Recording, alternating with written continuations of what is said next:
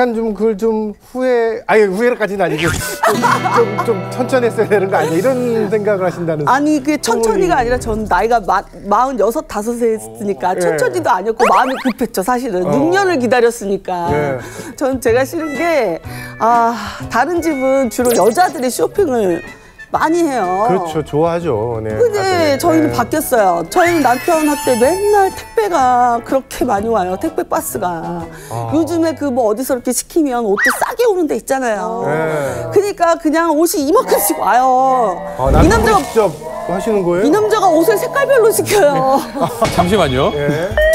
어, 네. 네. 참견. 아니, 네. 갑자기 쇼핑해서. 네, 쇼핑 얘기 계속해서 지금 스트레스를 많이 네. 사실은 쌓이신 것 같은데요. 지금 김지현 씨 몸에 사실 이걸 보니까 활성산소가 쌓이는 게 보여서 제가 참견을 안 할 수가 없어서 좀 끼어들었습니다. 지금 남편분 때문에 스트레스가 많이 쌓이신 것 같은데요. 스트레스는 이 활성산소를 유발하는 주범 중에 하나입니다. 그래서 평소에 이 스트레스 관리도 잘 하시는 게 굉장히 중요한데요.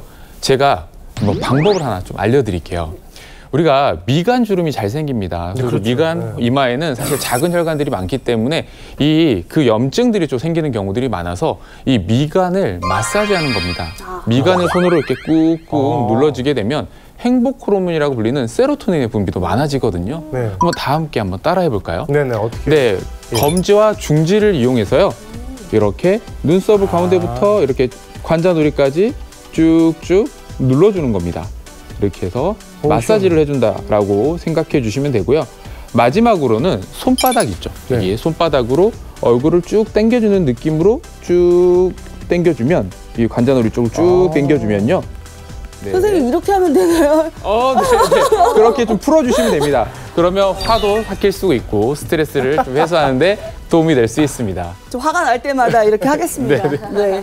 아까 활성산소가 많으면 빨리 늙는다고 했잖아요. 근데 그럼 글루타친을 채우면 늙는 것도 좀 막아줄 수 있나요?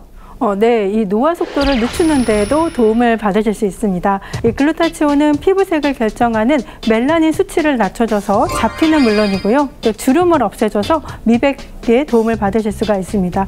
또 피부 속의 수분 함량도 높여주기 때문에 주름 개선에도 도움을 주는데요. 제가 이해를 돕기 위해서 영상을 준비를 했습니다. 자, 사과를 갈라서요. 한쪽에는 아무것도 바르지 않고요. 또 다른 한쪽에는 글루타치온을 바른 후에 방치를 해보았습니다. 네, 이 시간이 지나자 아무것도 바르지 않은 사과는 갈변 현상과 함께 수분이 말라서 쭈글쭈글해졌는데요. 네네. 반면에 글루타치온을 바른 사과는 갈변 현상 없이 색깔도 깨끗하고 촉촉한 것을 확인할 수 있었습니다. 네. 이 글루타치온의 섭취가 피부의 산화를 막아줘 어, 노화 방지에 도움을 준다라고 할 수가 있는 거죠. 자 그러면은 탄력, 주름, 촉촉 여자들이 원하는 건다 준다는 거네요. 예, 저 글루타치온을 좀 많이 많이 채워줘야 되겠어요.